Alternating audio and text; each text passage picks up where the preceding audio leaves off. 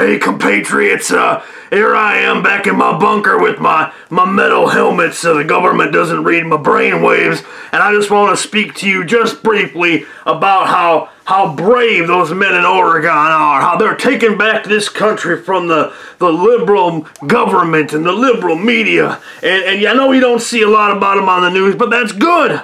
That's good. The less exposure they get in the very beginning is good because then they can slowly build this up and we can take back this great country. And they have one thing going for them.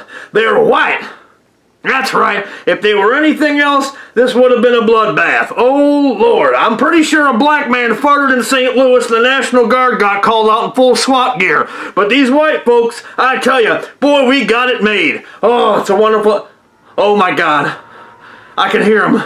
They're trying to break down the door of my bunker, compatriots. Don't tread on me!